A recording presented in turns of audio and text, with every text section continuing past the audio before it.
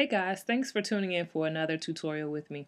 Today we're going to talk about how to remove a double chin. Sometimes I get clients who um, say they have a double chin and they would like to have it removed in their photos and you absolutely want to know how to do this. It is imperative. So I've gone ahead and I've edited this image and the final step that I will do is remove the the double chin. Now she doesn't have a lot, but this also works on someone who has more of a double chin. Um, so let's pretend this is our layer that we just finished editing on our top editing la layer. You want to duplicate that by just dragging this down to the piece of paper um, and creating a new layer. So I like to use the pen tool for this and what I will do is just go right over here select the pen tool. If you don't know how to use the pen tool feel free to watch my YouTube video on how to use the pen tool. And we're just going to make a rough selection. So I'm going to just click here and not have to get anything fancy done on those parts.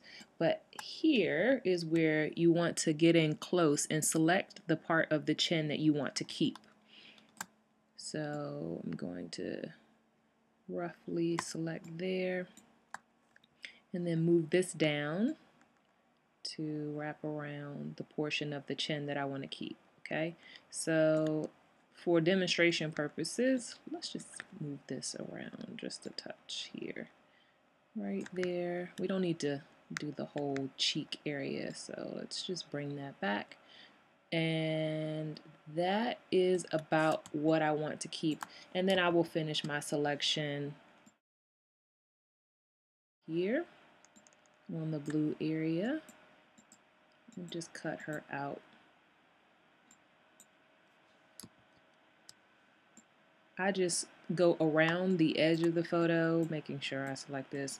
We're actually going to select another portion of the photo so don't worry about exacts now, once you have your selection made in the pen tool, what you're going to do is go to paths and right click on the work path. And if you like to save this, you can just double click, name it whatever you like.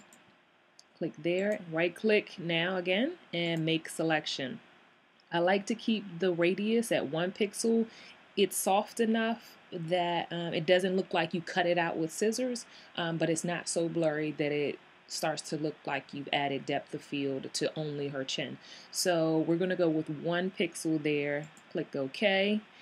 And now I actually want to have only the head selected. So I'm going to invert this, Shift Command I for the Mac users.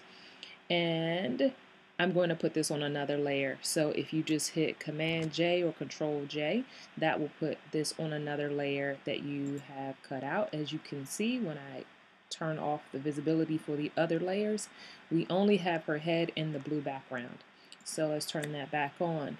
And finally, what I'm going to do is go to the Move tool right here in the corner and then use my arrow key down to nudge her face down over the part, portion of the neck that I do not want.